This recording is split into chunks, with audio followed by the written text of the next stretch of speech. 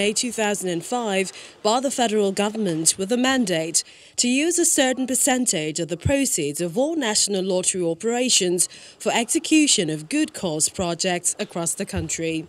The focus for this year is on providing the basic COVID-19 facilities to some healthcare institutions to prevent the spread of the virus. The government has sent out a stern warning on stringent preventive measures as there has been a spike in the virus over the last four weeks. COVID-19 remains very virulent and a dangerous uh, uh, uh, uh pandemic. And the World Health Organization statistics, uh, statistics show that more cases of COVID-19 have been reported in the past four weeks than in the first six months. The Minister of Special Duties and Intergovernmental Affairs, Senator George Akume, reels out the scorecard of what the Lottery Trust Fund has achieved so far.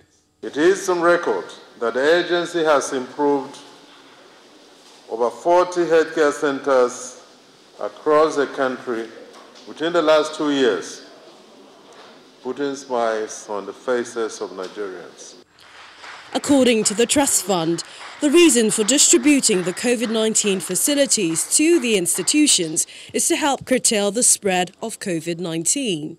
The essence of this intervention, Your Excellencies, distinguished guests, is to support our healthcare institutions to curtail the spread of the coronavirus in the hope that this effort will make all the difference in saving lives and enhancing the capacity of these institutions to provide high standards of care to patients as well as protection to frontline healthcare professionals fighting against the pandemic.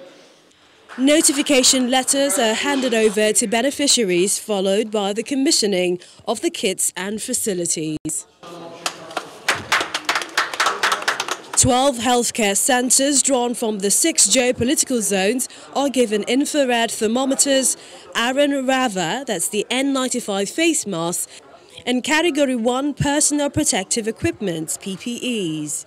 The Lottery Trust Fund is optimistic that the facilities will be of great benefit to Nigerians.